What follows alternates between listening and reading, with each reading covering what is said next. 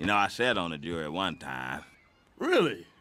Oh, yeah. It was in 1957, back in Tennessee. Now, the defendant was accused of shooting three little white women with a Winchester rifle from about 50 yards away.